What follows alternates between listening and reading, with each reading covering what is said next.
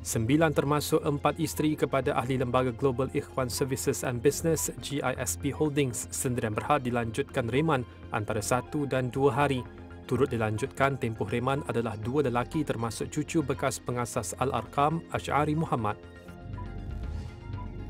JPJ nasihatkan orang ramai menyimak dan menyelesaikan saman tertunggak terlebih dahulu bagi melayakkan menyertai program khas peralihan lesen memandu Malaysia kelas B1 dan B2 kepada kelas B motosikal berkuasa tinggi.